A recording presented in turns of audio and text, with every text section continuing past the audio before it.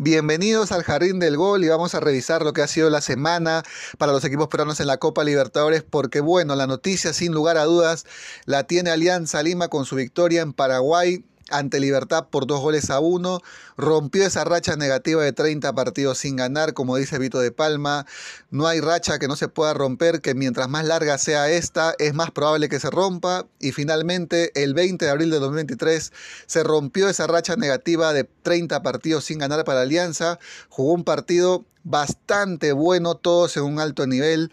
La clave fue aguantar esos primeros minutos de Libertad, que obviamente jugando de local, y lo habían pintado a Libertad como el cuco, ¿no? Porque cada vez que metía una goleada en Paraguay en su liga, publicaban en el Facebook, en las redes sociales, y lo hacían ver como un equipo grande invencible. Y Alianza jugó un partido inteligente. La clave fue resistir ese primer tiempo. Libertad iba a salir a imponer condiciones, obviamente, jugando de local en el Defensores del Chaco, que no es su estadio natural, pero de todas formas, por el tema del reglamento de la Comebol, tuvo que optar por jugar en ese estadio. Y Alianza Lima resistió los primeros minutos del partido, resistió en el primer tiempo. Libertad jugó mejor en el primer tiempo, hay que decirlo. Encontró también una muralla en campos, Alianza Lima, una muralla imbatible. Y así se fueron al descanso, 0 a 0. Era obviamente un negocio para Alianza Lima irse con el marcador 0 a 0, con el arco vacío. Y finalmente en el segundo tiempo Alianza sorprendería a Libertad eso que siempre nos pasa a nosotros, a los equipos peruanos, que nos sorprenden, que nos agarran dormidos. Bueno, y esta vez le tocó a un equipo peruano hacer eso y fue quien? Andrés Andrade, que se aviva en la media cancha, saca rápido un tiro libre, se la pone en profundidad David Rodríguez, que se mete entre los centrales y define ante la salida del arquero para marcar el 1 a 0. Era un baldazo de agua fría para Libertad y un golpe anímico importante para Alianza, comenzando nada más el primer tiempo, cuando Libertad se acomodaba, cuando Libertad veía qué iba a hacer para el segundo tiempo para poder romper el arco de Alianza Lima, pero el cuadro íntimo se puso arriba en el marcador por intermedio de Aldair Rodríguez que quizás no apareció en todo el año, pero miren en qué momento termina apareciendo para dar la victoria parcial a Alianza Lima. Alianza Lima sufriría la anulación de un gol, ¿no? El gol de Aldair Rodríguez, que era su doblete, porque bueno, hubo una falta ahí prácticamente en la línea del arco. El árbitro revisó el bar y finalmente terminó anulando la conquista aliancista. Seguía 1 a 0. El Chicho Sales decía, tranquilos, cabeza, no pasó nada, ¿no? Que se mantenga concentrado el equipo, que no pierda la calma, que no había pasado nada.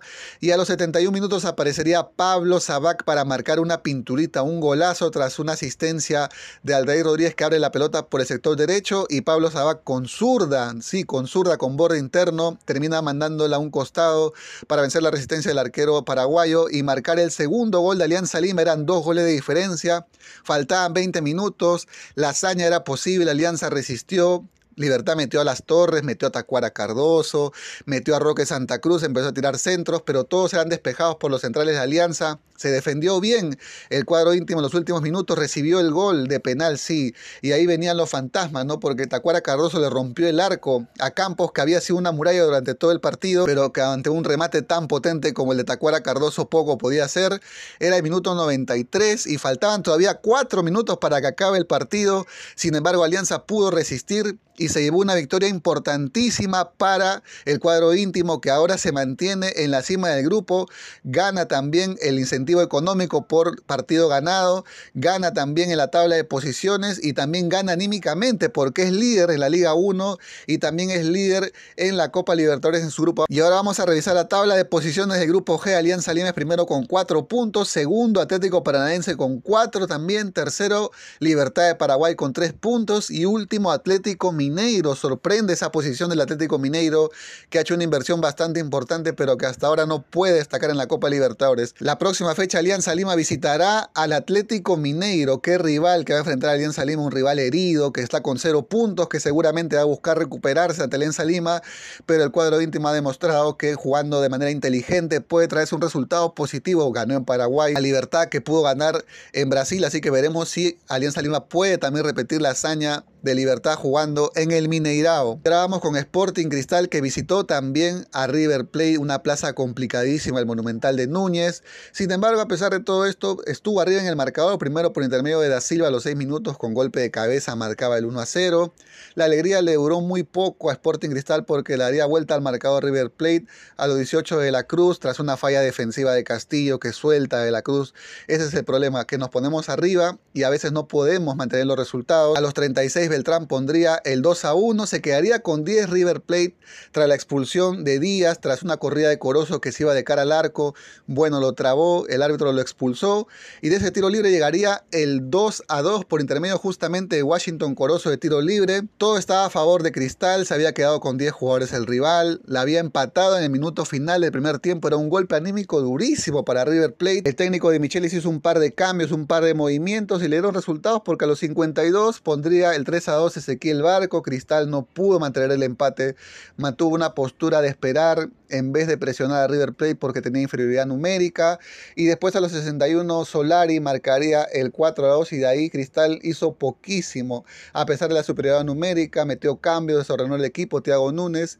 Y bueno, finalmente terminó perdiendo 4 a 2, una oportunidad que me parece muy pocas veces se le presenta un equipo peruano que el rival se quede con 10 jugadores, que le empates en el minuto final del primer tiempo y que no puedas aprovechar esas circunstancias. ¿Y cómo queda el grupo después de esta derrota de Cristal? Bueno, primero está Fluminense con 6 puntos, le ganó a Destroñas, recordemos 1 a 0. Segundo Destroñas con 3 puntos. Tercero River Plate con 3 puntos, que ya se recuperó y que nuevamente se mete a la pelea. Y último puesto Sport y Cristal con 0 puntos. La próxima fecha Cristal será local ante Destroñes pero bueno, tampoco vamos a decir que es fácil este partido porque el cuadro boliviano se plantó bien en Brasil, estuvo a tiro del empate en alguna oportunidad del partido y solamente perdió 1 a 0, o sea que plantea partidos duros el equipo boliviano, así que no será nada sencillo para el cuadro rimense ese partido que será el 2 de mayo en el Estadio Nacional seguramente. Y finalmente vamos con Melgar que perdió en su visita al Atlético Nacional por 3 goles a 1. Melgar que no hacía un mal primer tiempo, desaprovechó sus oportunidades de gol y eso es siempre problema también de los equipos peruanos, fallan y los goles que no conviertes no lo convierten y bueno, Nacional aprovechó sus dos oportunidades a los 28, Dorlan Pavón marcaría 1 a 0, luego a los 38 repetiría el plato, seguiría 2 a 0 al descanso del partido, Melgar le pondría algo de suspenso con el gol de Iberico, parecía que Melgar por ahí se metía al partido, pero rápidamente nuevamente Dorlan Pavón para marcar su triplete pondría el 3 a 1 y el partido no iba a moverse más.